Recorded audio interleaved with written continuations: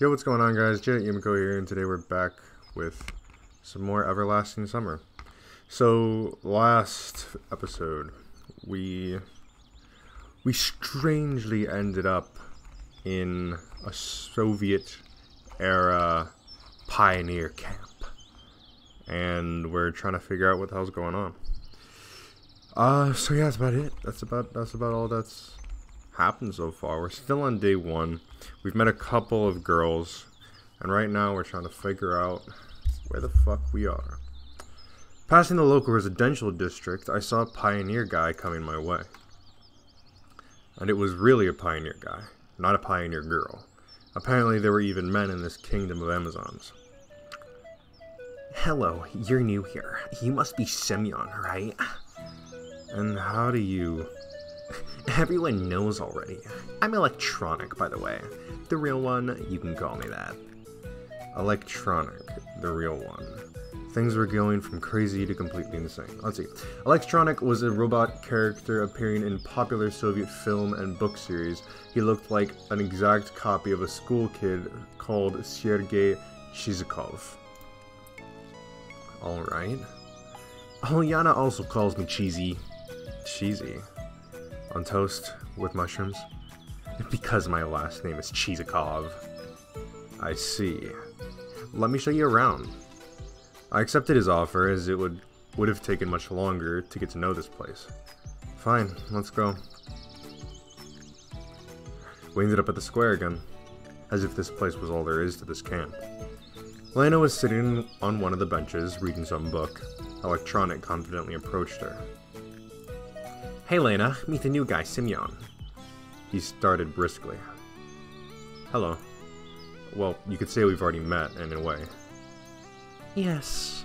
How did I do her voice last time? Ah, I'll have to figure it out later. She looked away from the book for a moment, glanced at me, blushed, and went back to reading, as if not noticing that we were still there. Alright, let's go on. I was at first surprised that meeting this girl was reduced to a couple of words, but then I thought that it was better this way. Electronic's vigorous activity did not fit well with Lena's shyness. Let's go. Next, we came to a building, which I instantly identified as a canteen. And this is where, I know, this is where you consume organic food. Yeah, something like that. On the canteen's porch stood the unfriendly girl who hit me on the back earlier. At the sight of my at the sight of her, my joking mood vanished in the blink of an eye. Really, now is not the best time to be pulling this guy's leg, even though he is quite hilarious. First, I need to figure out what's what here, or at least where I am. Hey, over there, that's Elisa. What the fuck? Dvajik. Dvachevskaya? Elisa. Elisa Dvachevskaya? I think the D is sort of melded with the V, so it'd be like. Dva. Dvachevskaya. Be careful around her. He spoke in a whisper. Don't ever risk calling her Dvacha. Dvacha. She doesn't like that. Dva means two in Russian. The whole nickname sounds exactly like two ch in Russian, a reference to the late 2ch.ru anonymous image board. I'm guessing that's something that's not good. What did you say? What did you call me? She must have heard him. In the blink of an eye, Alice had jumped down from the porch and dashed towards us. Alright, you'll manage from here onwards. Electronic took to his heels. Let's do nothing. Elisa, running past, stopped for a moment and growled. I'll deal with you later. Deal with me? What did I do wrong? I added a forced guilty smile to my words. What am I guilty of? She made no reply and carried on chasing Electronic.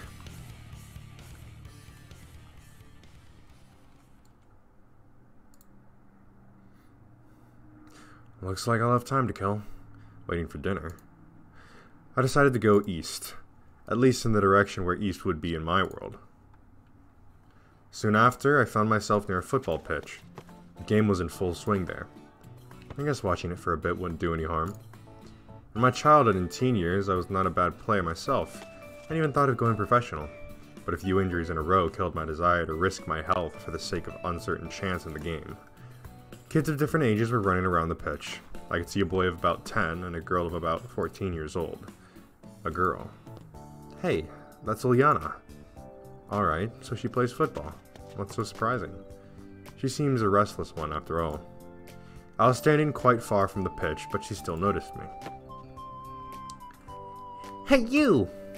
Ilyana shouted. Wanna play? I didn't know how to answer.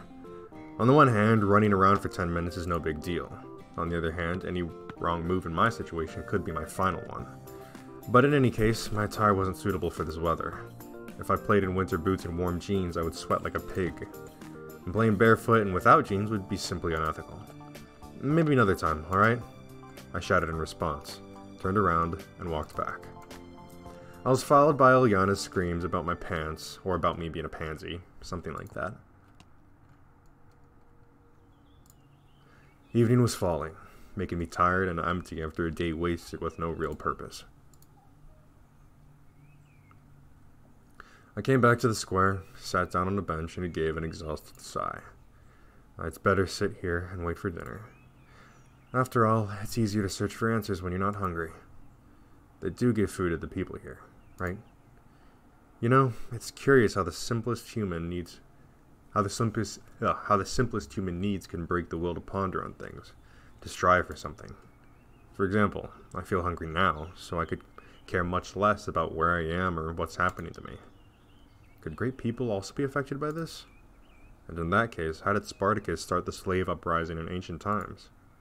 I can only conclude that I am not a great person, and it doesn't really matter which mechanism I serve as a gear in society, the Matrix, or a weird pioneer camp.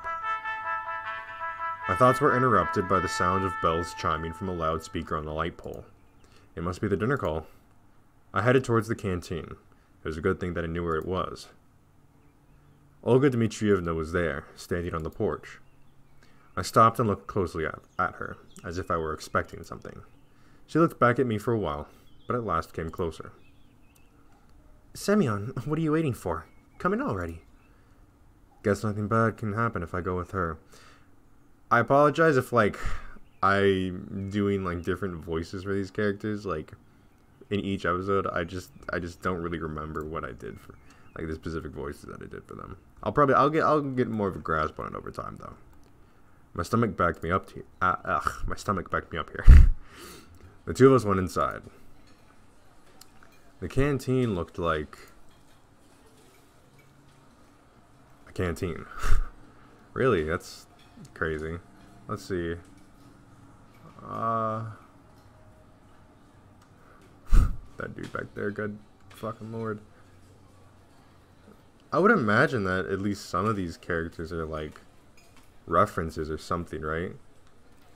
Oh yeah, like come on, like she looks like uh the fucking girl from Monogatari, like the first one. Oh, I forget her name. I don't know her name, but that looks like Monogatari to me. What's that one? Maybe like like K-On! or maybe something like that. I don't know. Because I know that they have a character in this game that looks that well, they are Miku essentially. Okay, so let's move on. I'd had a chance to visit a factory canteen at some point in my life. This one was exactly the same, just maybe a bit cleaner and more modern. Metal chairs and tables, glazed tiles on the walls and on the floor, unsophisticated tableware with the occasional crack.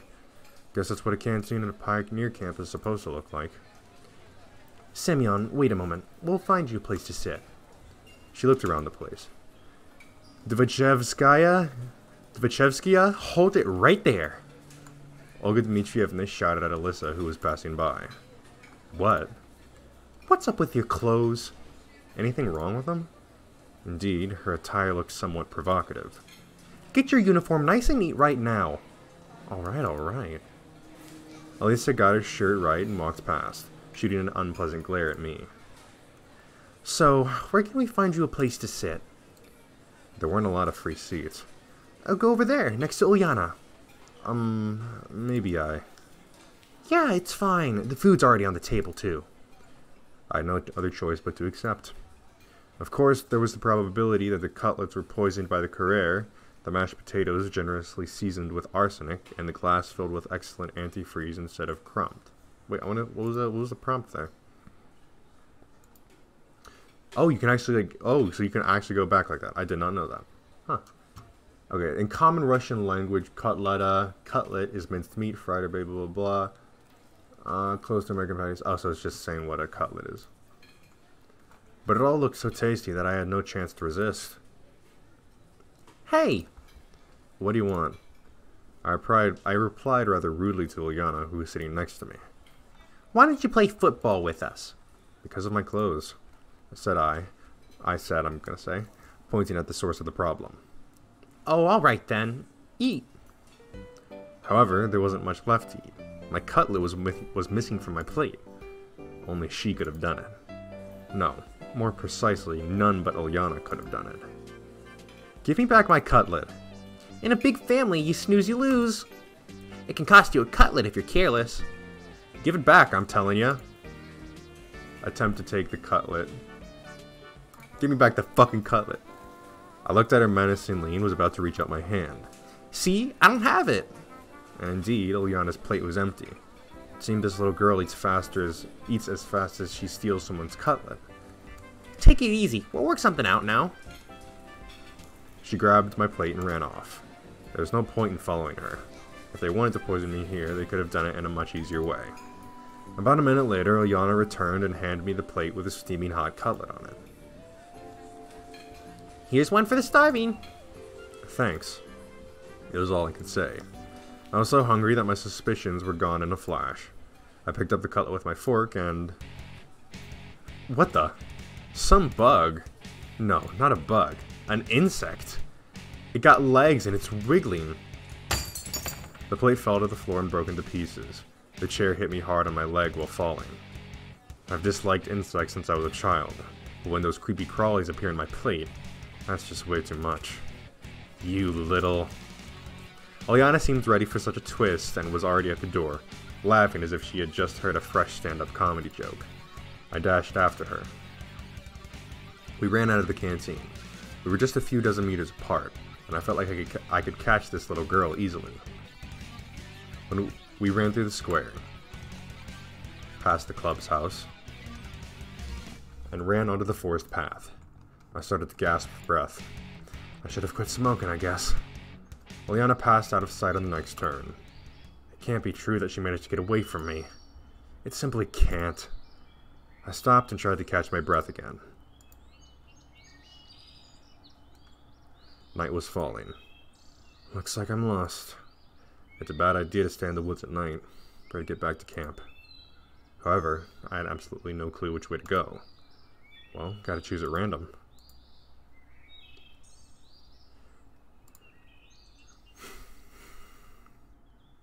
I wandered for quite some time in the forest and even thought of crying out for help, but I finally saw the camp's fence beyond the trees. Everything fell back into place. The bus is gone, I mumbled quietly. On the one hand, there was nothing strange about that. The bus couldn't just stay there forever. On the other hand, it meant there was someone driving, because buses do not drive themselves. Or do they? This world seemed too normal, but every event here had at least two explanations for it an ordinary, real, everyday explanation, and a surreal one. Certainly, the driver could have just been off for a snack, and I left too soon, and that's why. In any case, this is not the place for me. Whether that bus drives itself or not was probably an important question, but it was much more important to know how I had gotten here at all, and where this here was. The fields and the woods, stretching towards the horizon, had no answers. There was nothing familiar about them. A strange, odd, and alien world. However, at the same time, it was absolutely not frightening. Either my self-preservation inst instinct decided to resign from its job, or all this running around the camp and the local pioneers had lulled me so much with their carefree normality that I was simply forgetting what had happened to me just a couple of hours ago. Although I probably just had no strength left to worry. All I wanted was some peace, calmness. I wanted to just have a break from it all, and only after that would I continue looking for answers, ready and reloaded. However, that would be some time later. What about now? Can I allow myself to relax? It got completely dark. and in any case, it was better to spend the night in the camp. I was about to head back when someone came up silently from behind. Hello, what are you doing here so late? It was Slavya standing next, standing before me. I was so surprised that I jumped. So, you didn't catch Liana, did you? She smiled. I nodded disappointingly inside. No wonder. No one ever has. Yeah, she's a real rocket girl. She could have been she could have found a better use for her energy than looking for adventures.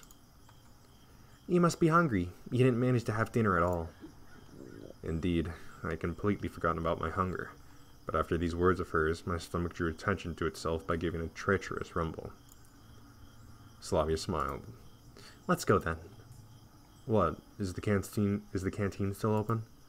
It's all right. I have the keys. The keys? Yes, I have the keys to all the facilities in the camp. How come? Well, I'm something like the camp leader's aide here. I see. Well, let's go. It was an offer you can't refuse. When we reached the square, Slavya stopped in her tracks. Excuse me, I should warn my roommate that I'll be late. She's so punctual herself that she'll be worried otherwise. You go into the canteen, and I'll come in a minute, right? All right. I really did not expect to find someone aside from myself there at such a late hour, and that someone was apparently trying to hopelessly was apparently trying hopelessly to open the door. Without any secret thoughts, I walked up onto the porch. The lockpicker turned out to be Alyssa. I should have probably kept off and waited. She looked at me intently for a while, then she said, Don't just stand there. Give me a hand or something. Meaning? Help me open the door. Why? Because I want some buns and kefir. Dinner wasn't big enough. Um, is that really a good idea? Aren't you hungry yourself? Ugh. Aren't you hungry yourself? Huh? Olyana didn't let you have a normal dinner, did she? She smiled sarcastically. It's true, she didn't. It's fine. Slavya will come now and. What? Guess I shouldn't have said that. I'm off then. And you'll pay for this. You owe me two already. Having said that, Alyssa disappeared into the night. And what was the first one? Slavya didn't keep me waiting for too long. Is everything alright?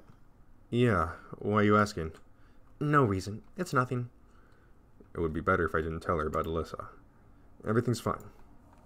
I said that and immediately heard a note of dishonesty in my voice. Well, shall we go? As for Slavya, she seemed to have not she seemed not to have noticed anything, or at least she was pretending she didn't. We entered the canteen. Wait a bit, I'll go get something. I sat down in a chair and obediently waited for my savior. My dinner was simple a few buns and a glass of kefir. No wonder. I bet hungry pioneers finished everything off. However, even that was far better than most of my usual diet. Slavya sat across the table and looked at me while I was eating. Is there something on my face? No, just. She smiled. So, how did you like your first day in the camp? Well, I don't really know. It's silly to ask someone who suddenly found himself in a different reality whether he liked the food in the canteen, the camp leader, or his assigned hut. It's alright. You'll get used to it soon. Slavya stared out the window dreamily. Frankly speaking, I have no desire to get used to such things. But as for her, she doesn't know. Or at least she wants me to think that she doesn't. Well, all in all, it's nice here. I had to somehow break the awkward silence. Do you think so? She asked without any interest. Yeah, this place is so. I wanted to say retro, but I managed to hold that back. After all, it was retro for me, but what about them? It might be the only kind of life they knew, if the term life was applicable here at all. So, how? She watched me closely, as if something important depended on my answer. Well, I don't know. Lovely. Yeah, it's lovely here. I guess you're right. She smiled again. It's very good that you think so. Why? Well, not everybody likes it here. And what about you? Me? Yeah. I love it here. It's great. Then you don't need to worry about what other people think. Well, I don't really worry. Slavya laughed. This conversation conversation seemed to be leading me far astray from where I wanted to go. And you're worried yourself. Really? Why do you say so? Well, when someone's chewing so intensely. I'm sorry. It's okay. I couldn't bring myself to be more cautious around this girl. But why her in particular? Why not another any other local inhabitant? Every one of them looked completely normal to me. Precisely normal. So normal it sends chills down my spine and into my marrow. Normal, not like a neighbor with a power drill in one hand and a subwoofer in the other. Not like a passenger you can often meet in a subway or on public transport. Not like a coworker at the next table in an open plan office. And not even like a friend who only differs from other humans in his constant incidents. All of them looked normal, as I would expect them to be, with their own downsides but without any superpowers. And Slavya was also cute? I glanced at her stealthily, not knowing what to say. I'm sorry. I wanted to show you around the camp before. Oh, I wanted to show you around the camp, but was ran off my feet. I didn't miss anything well on my own, I guess.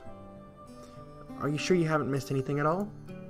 She smiled so brightly that I had to drop my eyes in confusion. Well, how would I know? It's my first day here. Okay, and what have you seen so far? I've seen the square, this canteen, the football field, and what about the beach? Just from, ugh, just from afar. You really should go there, or let's do it together. Yeah, okay, we will. Her naturalness started to scare me, but then I thought, what if everything that happens here is how it's supposed to be, and this world looks strange only to me? While for them it's normal? Maybe I was thrown into the past.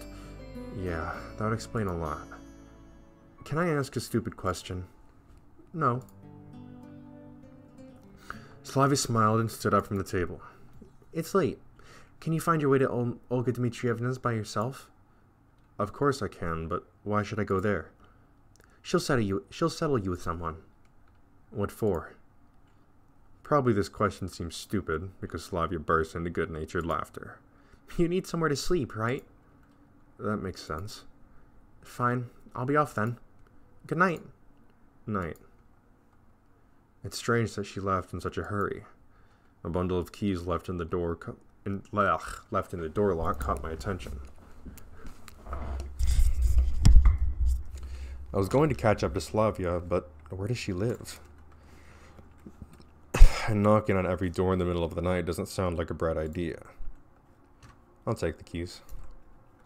I better take them. I'll give them back tomorrow because who knows what happens here at night.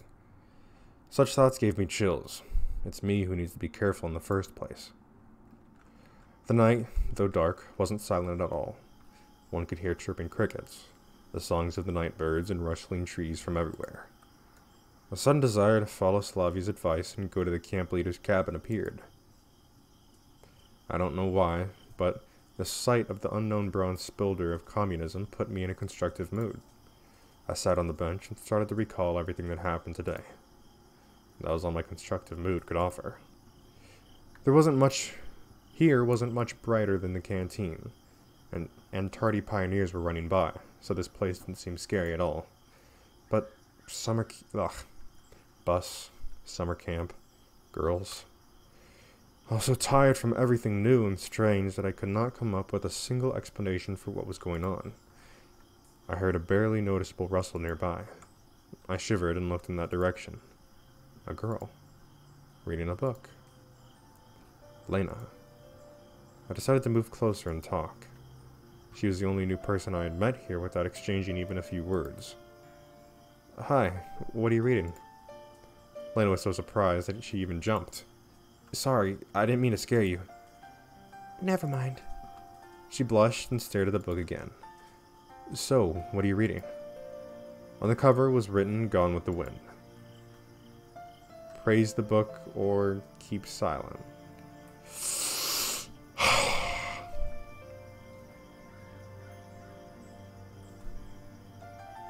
I've never read Gone with the Wind. But let's I'm try let's try to initiate a conversation. Let's praise it. A good book.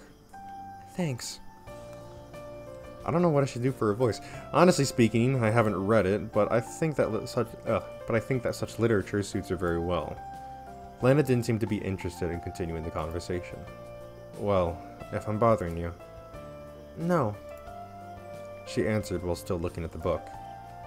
Can I sit beside you for a while? Why? And really, why? Maybe just because I was very tired and having company is better than being alone. And maybe I wanted to try to find something out from her. I carefully examined Lena. But no, I doubt that. Well, I don't know. Well, I don't know. I'm not allowed to? Feel free. But if I'm bothering you, No, you're not. I can leave. Just say, everything's alright. Okay then. I sat on the end of the bench carefully. After such an intense talk, staying here was the last thing I wanted, but it wouldn't be nice to just stand up and leave. That didn't really go well, huh? Lena hasn't answered anything. It seems I made a f- it seems I made a fool out of myself. I bet if Ilyana was here right now, she'd give good laugh at me. Do you enjoy being here?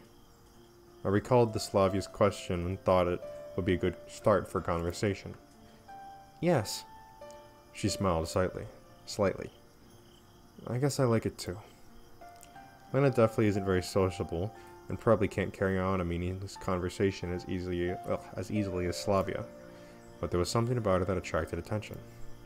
Like a momentary glimpse of a reflection in the glass on a rainy autumn evening, which makes you turn around and stare into darkness, searching for something that you saw out of the corner of your eye. Of course, you weren't able to distinguish or understand what it was, but it felt so tempting. Lena was still reading the book without paying any attention to my presence, and I had no intention of asking her about this camp or this world in general. Beautiful night. Yes. How in the world would you start a conversation with her? It's late. I have to go. Yes, it's quite late. Good night. Night. There was something strange about this girl. At first glance, she isn't a typically shy and modest pioneer girl. Oh, she is a typically shy and modest pioneer girl. But the mystery of Lena took its own place in the massive list of mysteries about this camp, which I had started to put together in my head. A lazy evening. There's nothing like a good time with nothing to do. I headed toward towards Olga Dmitrievna's cabin. The light in the house was on. Hello, Semyon. You're quite late. Yeah. I went for a walk to look around the camp. All right. You'll be sleeping here. She pointed her finger at one of the beds. Right here? I was a bit surprised. Yeah, is something wrong? We're out of free cabins anyway. The camp leader smiled, but I rather think it was just out of politeness. You do want to be a decent pioneer, don't you? There was a clear emphasis on the word decent. Yep, sure. I was lost in thought for a moment. Don't you mind it? Oh, don't you mind it, mademoiselle? She looked at me oddly, with surprise and some offense in her eyes. A pioneer should respect their elders. Olga Dmitrievna said strictly. Of course he should. No one argues that. I blathered, not realizing what was wrong. Shouldn't you also. She stared at me. Under such a gaze, even mithril forged by the best dwarf masters from the deepest dungeons would melt. Should I what? What's up, Toots? Annoyance and a lack of understanding made me raise my voice. You must address adults appropriately. Yes, of course, there are a lot of strange things here. But this girl is just a couple years older than me. Or maybe even younger. But I decided not to argue. Well, just a few minutes ago I would have never called her an adult, I have to admit that she was also given a strong character. And in any case, I wasn't in a position to argue. As you say, ma'am, I mumbled. That's much better. That is how a decent pioneer should conduct himself. And now it's time to sleep. Honestly speaking, I was going to become neither a decent nor an indecent pioneer. Just yesterday, I wasn't going to become a pioneer at all. But do I have a choice now? If you don't want to, we'll have to make you. This is the motto Olga Dmitrievna was probably going to use. I climbed under the bed and closed my eyes, only to realize how tired I was after today. Something hammered in my head awfully, as if my brains had started a, ah, had started a night shift, and they seemed to be aimed more at rolling steel than working on something more sensitive. The bus flew through my mind, and the square with the monument, the canteen full of pioneers, and the malicious face of Ulyana. Slavya. Lena. And every recalling Alisa didn't give me too much of a oh, and even recalling Alisa didn't give me too much of a negative feeling. What if I'm here for good? Day two.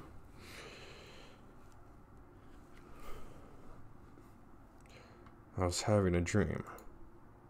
It seemed like I was in some kind of vacuum, with nothing but nothing around me. But not only around, I was the only creature in the universe. As if the universe had returned to a state of singularity right before the Big Bang. And something was just about to happen. Suddenly I heard a voice. I could not make out the words, but it sounded familiar. The voice was whispering something gently, as if soothing me. And then I realized it was the voice of that strange girl from the bus. The girl from the dream. But why but what is she trying to tell me? Who is she? I woke up. Bright sunlight struck my eyes. It was almost noon.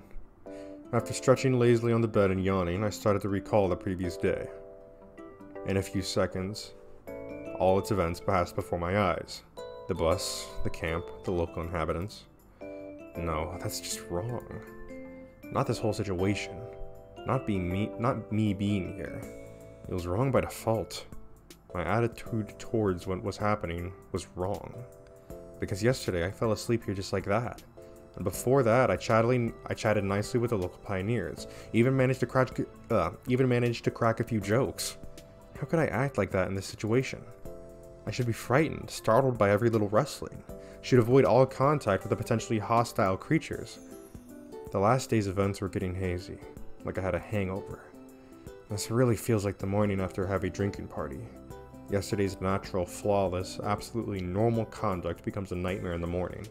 A grotesque illustration from the Divine Comedy. Yes, it's just like that, and I can't change the past now. Then again, I'd probably assessed the situation and was acting accordingly. I glanced around, trying to figure out whether I had been thrown out somewhere else, but Olga Dmitrievna's cabin looked the same as yesterday. Everything seemed to be in its place, except for a pioneer uniform which was hanging from the bedhead. I fumbled with it in distrust and tried it on. At least this is better than walking around in winter clothes. Wish I could see myself, but I look like a clown. And for that, I needed a mirror. At least a tiny one. I finally found one on the wardrobe door. Holy! I looked at the newfound pioneer and jumped away in surprise.